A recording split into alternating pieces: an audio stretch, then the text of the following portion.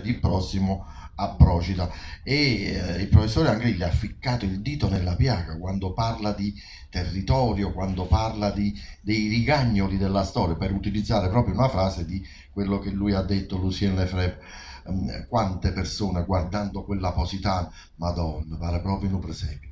Però dovete sapere che in quello che era il tribunale civile e penale di Amalfi, che poi è stato spostato a Salerno, c'è sta un numero di pratiche rispetto alla grandezza del territorio, al numero di abitanti, che è fuori dalle, dal comune rispetto a tutto l'andamento giudiziario italiano. Eh, questo per darvi un'idea. Intanto eh, richiamiamo ancora accanto a noi il maestro napolitano, perché sicuramente in, questa, in questo spaziare eh, il Vincenzo Esposito prima di questo volume ne ha scritto un altro che si chiama La terra dei limoni neri che era espressamente dedicata a una, a una fetta del territorio della penisola sorrentina. Vi preannuncio questo e poi dopo ne sentiamo il perché. Maestro.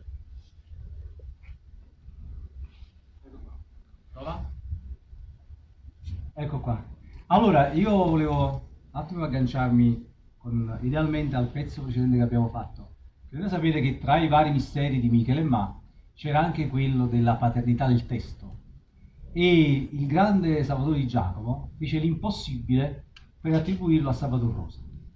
Salvatore Rosa vi ricordo che era il grande allievo di Aniello Falcone, ma come lui allievo dei grandi pittori del Seicento, con i quali aveva a che fare, ebbe anche a che fare il buon Caravaggio che si buscò uno sfregio quando ebbe modo di avere un alterco con un napoletano nel Cerriglio, la famosa taverna del Cerriglio. E quindi eh, lui fece l'impossibile per attribuire a Salvatore Rosa, ma poi i carteggi non furono insomma, esaustivi e quindi rimane questo canto antico. Ma Salvatore Giacomo lo perdoniamo perché poi lui è, è stato fautore di un'altra grande scoperta. Fino alla metà dell'Ottocento il grande Tommaso Aniello d'Amalfi non aveva una patria, si pensava che Tommaso fosse il nome, da Malfi la provenienza, che fosse un pescatore, tutt'altro. Grazie a Salvatore di Giacomo andrò nella chiesa che sta al centro della piazza Mercato e trovò l'atto di battesimo di Tommaso Daniello. E quindi nel 1620, purtroppo sono passati tanti anni, quasi eh, non viene mai festeggiato questo evento, eh, i 400 anni della, purtroppo stavamo in pandemia, della nascita di questo personaggio. E quindi lui scoprì che il grande Masaniello era Tommaso Aniello d'Amalfi, dove d'Amalfi era il cognome, perché era figlio di Pietro d'Amalfi ed era poi un pescivendolo, non era un pescatore. Ma lo perdoniamo a Salvatore Giacomo perché ha scritto pagine bellissime e io ne voglio regalare una. Secondo me una delle più belle poesie rivolte al mare e che è Luna Nova.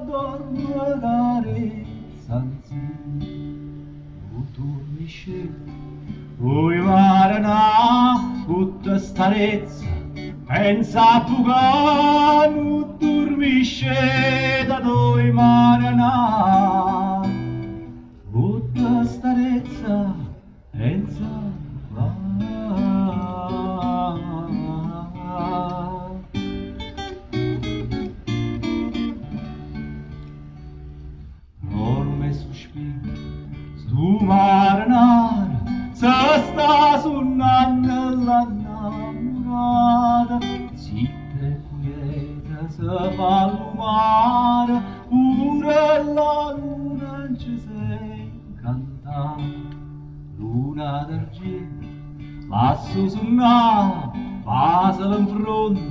Non uscirà luna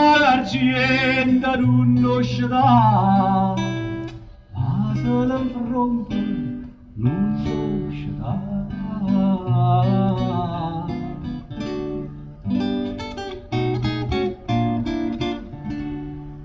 Cu mărzuri de mare rar, tur urmăream la viața te, urmă Mansur de lagrimă mare,